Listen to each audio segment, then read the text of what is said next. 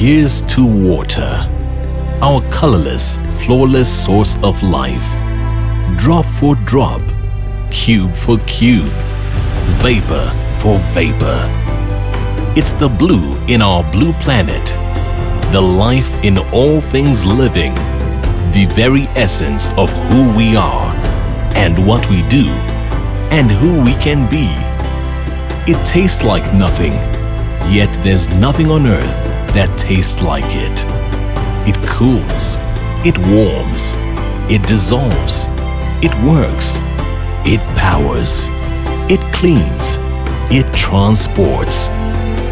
It grows, grows food, grows life, grows communities, grows industries, grows the economy, and grows our continent.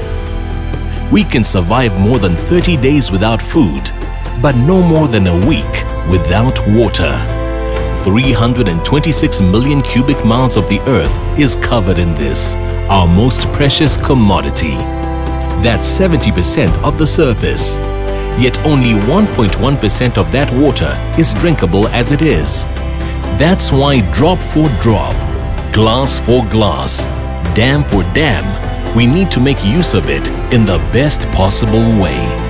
Because knowing that water is precious means nothing without the wisdom of how to store it.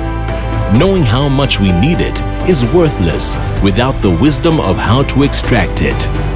Knowing the importance of clean water on our health is futile without the wisdom of how to purify it and get it to where it's needed. And for more than 110 years, we have the experience, the expertise and the wisdom to do exactly that.